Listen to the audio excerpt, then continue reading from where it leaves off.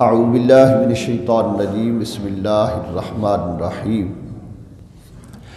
काल कदालिका काल रब का हुआ अलैन वक़द खलक तो कमिन कबल वलम तकुशैया काल रब रब अली आया काल आयत का अल्लाह तुकलमन्ना सलासलयान सविया आमन तो बिल्ला सदक़ल्लाज़ीम सुर मरियम की आयत नंबर नौ और दस, दो आयात मुबारक की तिलावत की गई। हज़रत ज़करिया ने आखिरी उम्र में बुढ़ापे में जाकर रब कायनात से दुआ मांगी, अल्लाह ने आपकी दुआ को कबूल फरमाया। और क़्यामत तक इंसानों को ये बताया कि बंदा अपने रब से ताल्लुक़ जोड़ के रखे। रब बड़ा करीम है, वो अपने बंदों पे करम नवाजी फरमाता है। और उसकी करम की कोई हद नहीं है। और वो अलाकुल्ल शैन कदीर है, जो चाहे वो कर सकता है। बस बंदे को चाहिए कि अपने रब के साथ ताल्लुक़ रखे। तो हज़रत ज़करिया सलाम ने जब अल्लाह से अर्ज़ की कि, या अल्लाह, मुझे औलाद अता फरमा। तो अल्लाह रब्बुल ने इरशाद फरमाया, तुम्हें बेटा दिया जाएगा। और उस बेटे का नाम भी बताया कि उनका नाम यहया होगा। तो हज़रत ज़करिया ने अल्लाह से अर्ज़ की कि या अल्लाह, क्या इसी बीवी से होगा? जबकि ये बुढ़ापे को पहुँच चुकी है, या मुझे नई शादी करनी पड़ेगी? तो मेरे यहाँ कैसे औलाद होगा कि मेरी बीवी बांझ हो चुकी है? तो अल्लाह रब्बुल आलमीन ने फरमाया कि इसी से होगा। अर्ज़ की, या अल्लाह वो कैसे? इंसान बड़ा तजुब करता है कि या अल्लाह बुढ़ापे की उम्र है, उनकी भी, मेरी भी। तो अल्लाह ने शाह फरमाया, काला कदाल का काल रब्बो का हुआ हयन वक़द खलक तो का मिन कबल वलम तक शैया फरमाया, ऐसा ही है, तेरे रब ने फरमाया कि वो मुझे आसान है कि मैंने इससे पहले तुझे इस वक्त बनाया जब तू कुछ न था।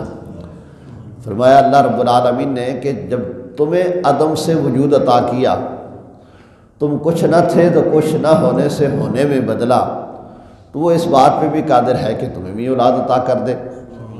जब कोई बंदा अल्लाह की कुदरतों का इनकार करे तो उसे एक बंदा समझाने वाला हो तो कहे, यार, बाकी बातें तो छोड़, तू अपने आप में गौर फ़िक्र कर ले। सर से लेकर पाँव तक, तू क्या था? और है क्या? तेरी हैसियत क्या है? चलते चलते इंसान के आँख में तिनका पड़ जाए तो इंसान परेशान हो जाता है। सारे जिसम में दाढ़ की क्या हैसियत है? वो दर्द करनी शुरू कर दे तो इंसान परेशान हो जाता है, मजबूर हो जाता है।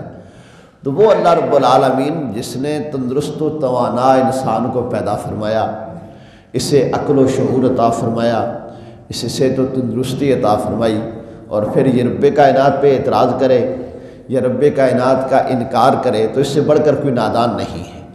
इसलिए अल्लाह रब्बुल अपने प्यारों को बता के क़्यामत तक तमाम इंसानों को ये समझाता है कि इंसान, तू अपने आप में ही गौर कर ले कि तुझे अल्लाह ने ना होने से होने में तब्दील फरमाया है। तो वो अल्लाह हर बात में कादिर है, वो जो चाहे कर सकता है। तो अर्ज़ की अल्लाह, वो कैसे होगा? फरमाया, वक़द खलक तो का मिन कबल वलम तक शैया तुम्हें इससे पहले मैंने बनाया, तुम कुछ न थे। तो वो रब जिसने तुम्हें बनाया है तुम्हें औलाद भी अता फरमा सकता है। अब हज़रत ज़करिया सलाम को यकीन कामिल हो गया लेकिन साथ ही साथ अर्ज़ की अल्लाह मेरी बीवी को हमल रह जाए हमल ठहर जाए उसकी कोई निशानी मुझे बता दे ताकि मैं और तेरा शुक्र अदा करूँ और इतमान कलबी के साथ तेरी तरफ़ मुतवजह हो सकूँ। तो अर्ज़ की काल रब जल्ली आया। अर्ज़ किया मेरे रब मुझे कोई निशानी दे दे। तो अल्लाह ने फरमाया आया तो काल आया तो का अल्लाह तुकल्लिमन्नास सलासलयाल सविया। फरमाया, तेरी निशानी ये है कि तू तीन रात दिन लोगों से कलाम ना कर सकेगा। यानी जब हमल ठहर जाएगा तो उसकी निशानी ये होगी कि आप तीन दिन और तीन रातें लोगों से कलाम नहीं कर सकेंगे। लेकिन इसका मतलब ये नहीं कि गुंगे हो जाएँगे, क्योंकि अल्लाह के नबी गुंगे नहीं होते, गुंगा होना ऐब है। और अल्लाह हर ऐब से अपने नबियों को पाक पैदा फरमाता है। इसलिए साथ फरमाया सलासल सविया, बावजूद इसके कि आप तीन दिन रातें अच्छे भले रहेंगे। यानी आप अल्लाह की तस्वीर करना चाहेंगे, अल्लाह का कलाम पढ़ना चाहेंगे, अल्लाह का ज़िक्र करना चाहेंगे तो आपकी ज़ुबान चलेगी, लेकिन आप किसी से बात नहीं कर सकेंगे। ये निशानी होगी तो चुनाचे ऐसा ही हुआ। कि अल्लाह रब्बुल ने बुढ़ापे की हालत में आपको बेटा अता फरमाया और अल्लाह तबारक व ताली ने क़्यामत तक इंसानों को ये बताया, बंदा अपने रब की रहमत से नाउमीद ना हो, रब से ताल्लुक़ जोड़ के रखे रब कायनात इसे ज़रूर अता फरमाता है। अल्लाह रब्बुल हमारी दुआओं को अपनी बारगाह में कबूल मंजूर फरमाए। व आखिर दावाना अनिलहमदिल्ला रबाल